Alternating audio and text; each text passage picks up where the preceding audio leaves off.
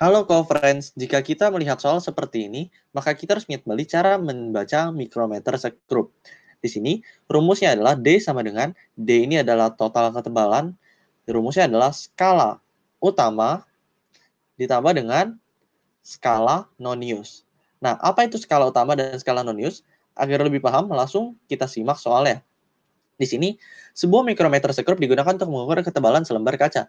Dengan rahang terkunci dan tidak ada lembaran kaca terjepit antara alas rahang dan selubung ulir, bacaannya ditunjukkan pada diagram 1. Jadi pada diagram 1 ini tidak ada benda yang dijepit, tapi kondisi mikrometer sekrupnya sudah dalam keadaan rahang terkunci.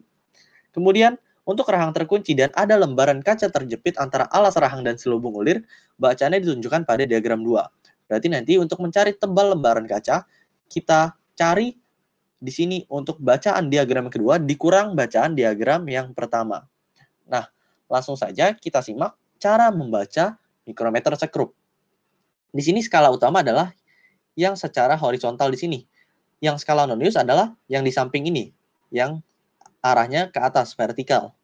Nah, untuk yang skala utama di sini, yang garisnya ke atas ini, yang ini, ini, ini, itu adalah bilangan bulat. Kemudian yang arahnya ke bawah yaitu ini, ini dan ini itu adalah per 0,5 mm. Jadi di sini satuannya adalah milimeter. Berarti misalnya kalau titiknya di sini ini adalah 0,5. Berarti kalau di atas ini 1 berarti di sini 1,5. Kalau di sini 2 berarti di sini 2,5. Kemudian untuk skala nonius di sini, skala nonius itu perhitungannya adalah kita kalikan dengan 0,01 mm. Berarti misalnya di sini angkanya 30 kan, berarti 30 kita kalikan dengan 0,01 mm, berarti di sini kita dapat menjadi 0,3 mm. Berarti di sini skala noniusnya adalah 0,3 mm. Nah, agar lebih paham langsung kita coba hitung. Kita lihat di diagram yang pertama, gambar pertama di sini, panah dari skala utamanya terakhir munculnya di 0. Berarti bisa kita simpulkan untuk yang diagram pertama, D-nya di sini skala utamanya adalah 0. Kemudian ditambah skala nonius. Di sini skala noniusnya adalah kita lihat garisnya lurus di 30 yang ini. Berarti skala noniusnya adalah 30.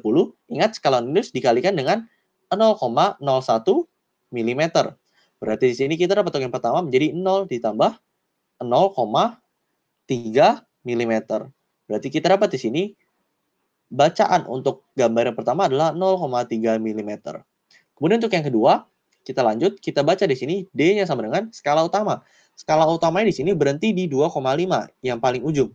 Berarti kita dapat skala utamanya adalah 2,5 mm, kemudian ditambah skala nonius. Skala noniusnya berhenti di 30. Garis lurusnya ada di 30, berarti di sini 30, kemudian dikali dengan 0,01 mm.